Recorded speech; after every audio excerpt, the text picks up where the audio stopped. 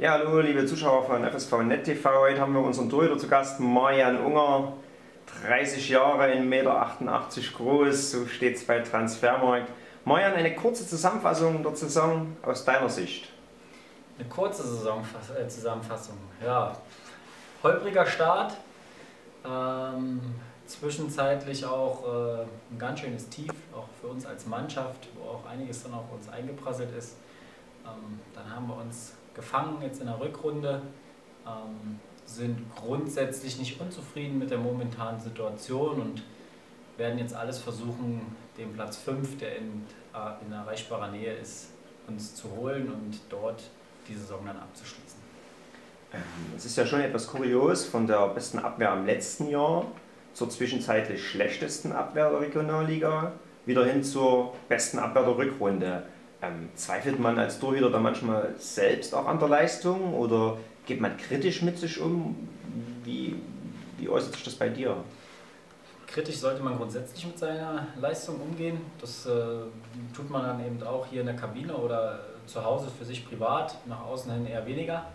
Ähm, sicherlich kurios, aber das zeigt eben auch, wie der Fußball manchmal so ist. Letztes Jahr war klar, dass die Leistung schwer zu toppen ist, auch mit den 14 Gegentoren dass es dann so ins Gegensätzliche stößt ähm, in der Hinrunde, war natürlich äh, nicht geplant und nicht, nicht, nicht erwünscht.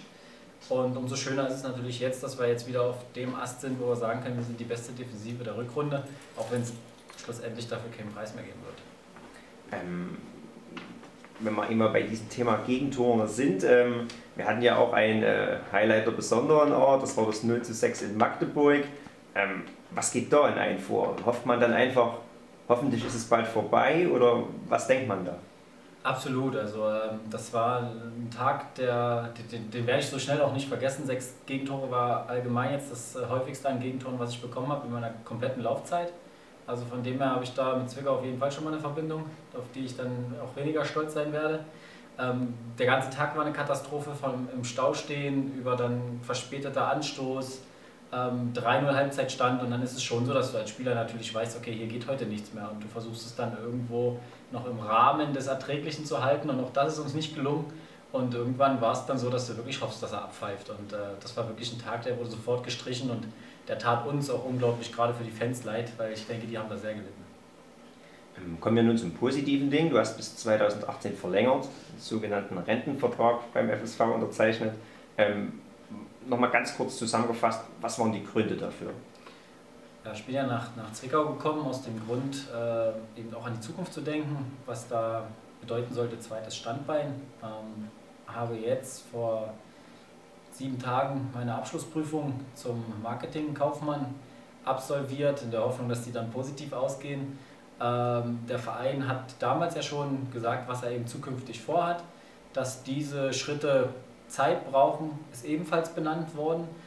Wir begleiten das sowohl sportlich, wie ja ich jetzt auch durch die Tätigkeit in der Geschäftsstelle mitbekomme, eben Tag für Tag in die richtigen Bahnen. Und deswegen auch der, der Grund der Vertragsverlängerung. Ich denke, dass die Arbeit sowohl auf dem Feld wie auch in der Geschäftsstelle ähm, sehr ordentlich ist, die ich abliefere. Und deswegen äh, war es eben auch ein Wunsch vom, vom Verein, beides äh, im Paket langfristig zu binden auch äh, als, als Zeichen nach außen. Und äh, dem Wunsch bin ich dann nachgekommen, weil es eben für mich auch auf beiden Seiten, also sprich beruflich und sportlich, eine Herausforderung darstellt, die ich so noch nicht hatte und die ich dann annehmen wollte. Ähm, vier deiner jetzigen Abwehrleute haben verlängert. Ähm, wirst du da vom Trainer hingehend auch mal befragt? Was hältst du von dem? Würdest du gerne mit ihm weiterspielen? Weil du bist ja auf dem Spielfeld doch noch näher dran wie der.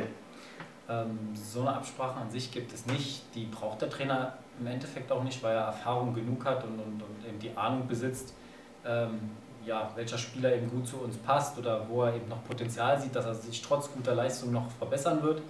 Ähm, es ist sicherlich erfreulich, dass wir uns jetzt alle mindestens zwei Jahre kennen, den einen oder anderen ja schon ein bisschen länger und dass wir eben weiterhin auch zusammenarbeiten. Das äh, macht die Situation nicht schwieriger für die Zukunft, weil man eben weiß, wie der ein oder andere arbeitet, tickt ähm, und spielt. Und äh, vielleicht ist es die moderne Form des äh, Catanachos. Ja? Beim AC Mailand waren sie jahrelang alt und lange zusammen. Und wir fangen das jetzt halt in moderner Form an und mal gucken, wie weit wir damit kommen.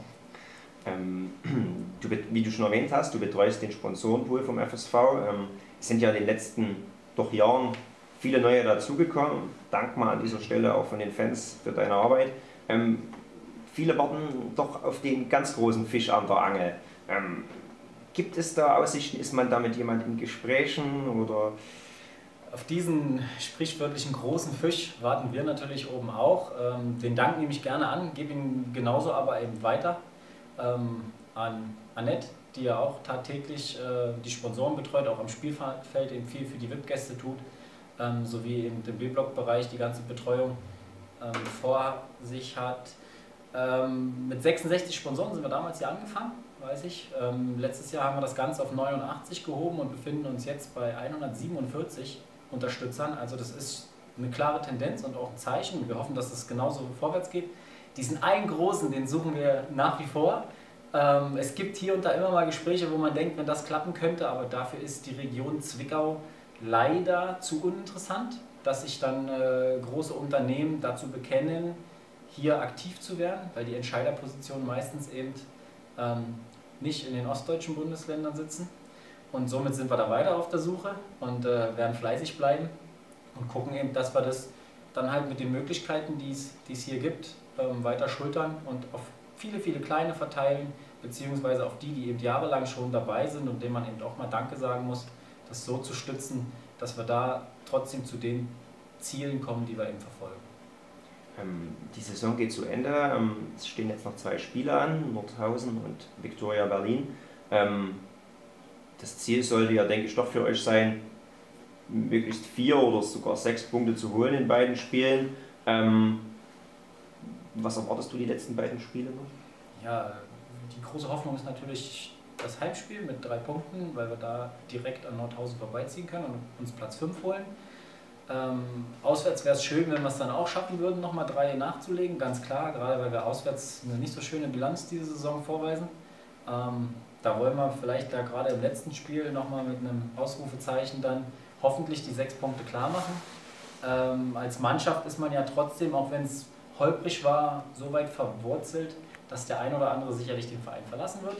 Ähm, da möchte man natürlich auch, dass man nochmal gute Spiele zusammen abliefert, dass man nochmal eine, ja, freudigen Abgang hier in der Kabine hat oder eine schöne letzte Heimreise, wo wir dann auch nochmal sagen, Mensch, trotz der ganzen Belastung, die wir hatten, haben wir es doch ordentlich hingekriegt und deswegen äh, nehmen wir uns definitiv sechs Punkte vor und ich hoffe auch, dass wir das eben so schaffen, dass der ein oder andere vielleicht nochmal eine Minute Einsatzzeit bekommt und äh, ja, dass wir dann einfach auch stolz nach zwölf Monaten viel harter Arbeit, viel Training und doch auch einigen, was eben auf einen eingeprasselt ist, dann rundum zufrieden in den absolut wohlverdienten Urlaub gehen können, der, wenn ich richtig informiert bin, gerade mal dreieinhalb Wochen beträgt und dann ist schon wieder neue neuer Startschuss. Also ist dann bitter nötig und deswegen hoffe ich, dass wir das mit einem positiven Erlebnis machen.